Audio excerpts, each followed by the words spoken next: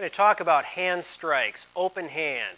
Very versatile, very effective. Also good because, again, hard to injure.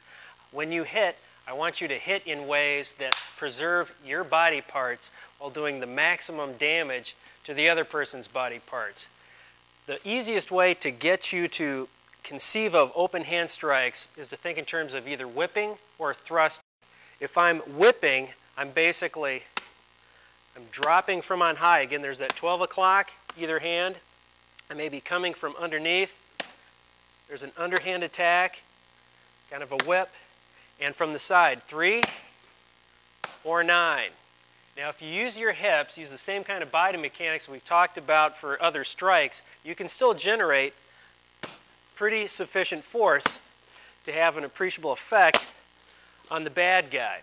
The other kind of strikes you need to incorporate with your open hand are thrusting, and that's basically, as the name would imply, if that was 12, straight in, 3, 9, there's 6, throw them both at the same time. There's a double 12 there's three and nine at the same time, that'd be a double groin strike. That's risky. Your head is exposed. There's only certain times when you can throw these types of combinations. Now get a partner in something that you can actually strike and start working these combinations. Hit those basic four quadrants, mix them up. The hand strike, very versatile because it can become a block, it can become a parry, and with an open hand, if something's coming in, you get it out of the way, your hands are ready to go and perform some of the control tactics that are part of the material. So it's an excellent way to train. So drive in with your thrusting strikes, whip in, use them both at the same time. If you're going to whip, use your whole body. If you're going to thrust, drive in, just like a really strong punch. Use your entire body. Now let's take a look at John's body parts and some ways that we can kind of segue from open hand strikes to an actual takedown. If I'm in close, open hand strike to the neck. That may just be a quick way that we're going to control and try to grab him down. If you're coming to assist somebody from behind that may be being assaulted, may have a fight going on here, you don't plow in between them and get injured by friendly fire. A good target with your open hand the trapezius muscles right here. Suprascapular nerve underneath, just come in, drive all the way down.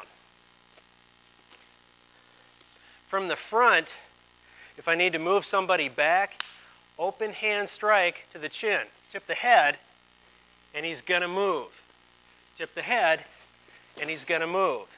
You can dump him up and over if you can get in tight but you've got to stabilize. Watch what happens again. We move away from pain, we move away from discomfort. We're all struggling for our balance. I push, he's taking a step back. If I need to take him down, I'm going to push and stabilize him at the same time. Here's an open hand in the back, there's that, right down. Now, if we're still concerned about his well-being, we've got to think about the velocity in which his head is hitting the floor.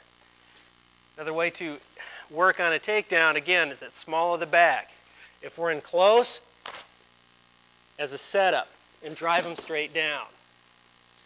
The small of the back, the chin, the trapezius, the groin, pitch them forward. Again, here's another palm strike, side of the head, and straight down. These are very versatile strikes, and they can be very versatile transition tools to get into other types of techniques as well.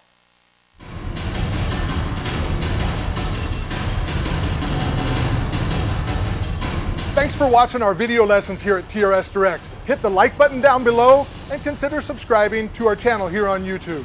Hit the bell icon and we'll send you a notification when there's a new lesson available. Thanks again for watching.